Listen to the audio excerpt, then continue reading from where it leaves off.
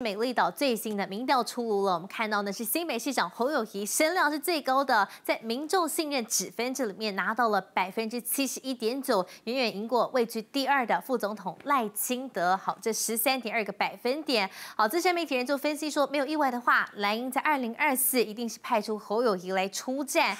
好，面对这是民调垫底的台北市长柯文哲，侯友谊怎么说呢？他说，大家其实不要太严苛，柯市长很认真哦。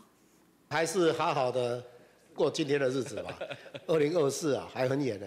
面对总统大选，新北市长侯友谊总是说的保守，不过外界却对他期待满满。摊开美丽岛电子报最新民调，二零二四总统可能人选，民众信任指分，第一名侯友谊得到七十一点九，副总统赖清德位居第二，五十八点七。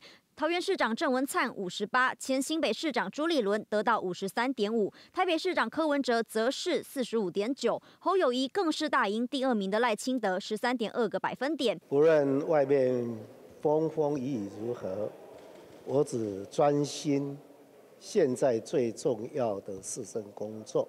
资深媒体人维安分析，蓝营部分侯友谊超过朱立伦将近二十个百分点，朱立伦还输给绿营赖清德、郑文灿两人，判定出局几率大。没有意外的话，蓝营必定会派出侯友谊出现，而绿营该派谁，可就让内部伤透脑筋。